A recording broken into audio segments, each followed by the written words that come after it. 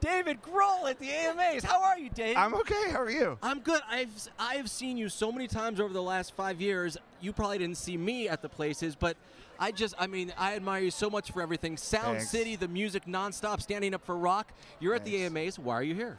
I'm here to present an award with Joan Jett.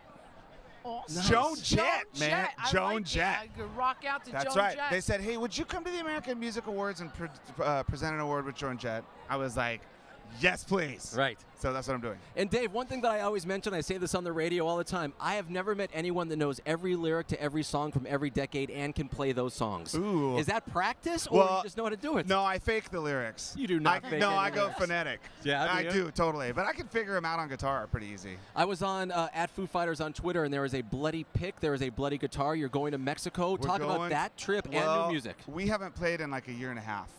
And we decided because we'd never been to Mexico before that we would uh, book some shows in Mexico City.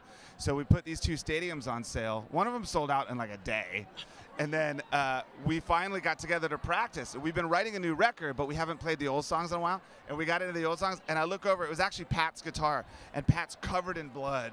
And he's just like, because we were so psyched to play. Nice. So yeah, it's time to play. And so you mentioned there you are working on new music. We have a new record. I was under the impression you were going to wait even longer than this. Well, we're doing something that no one's ever done before with this new record. and what is that new thing We're you're going going do? to make it in a way that no one's made a record before. Okay, you've already done it uh, without using all the Pro Tools stuff. You put Yes. out the documentary. You get, what are you going to do? Can I you can't reveal? tell you, but okay. I'm going to tell you. You'll know. Is Tony Orlando doing your record? Oh God, wouldn't that be good? Okay.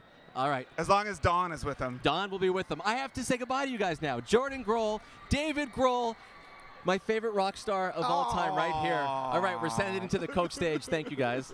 Thank you. Thank you. Happy holidays.